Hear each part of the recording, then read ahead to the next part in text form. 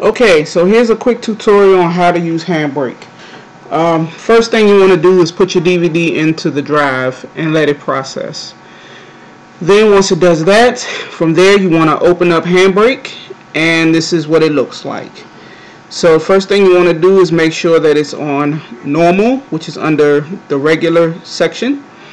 Um, from there, go to source, drop down to where your DVD drive is, and click that and then you'll see the process. See how, how it's processing.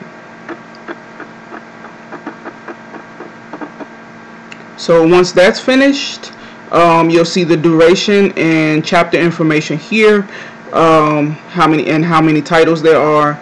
So let's say you only wanted to uh, rip a certain amount of chapters 6 through 11 or something like that. So then you would then choose that here like 6 through 11 or whatever you want to do and it will tell you the duration.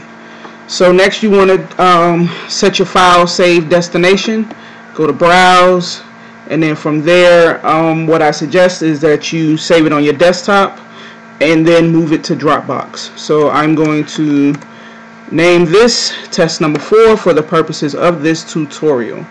Then you hit enter. Then the next thing you want to do is make sure that the container is MP4.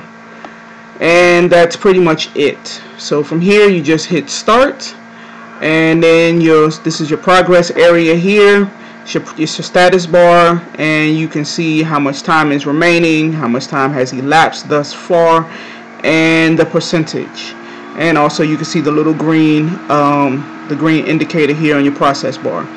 Um, so once that gets to 100% it will stop and it will say process complete or queue complete. And that's it. So from there you just take your file and copy it or drag and drop it into Dropbox. And that is it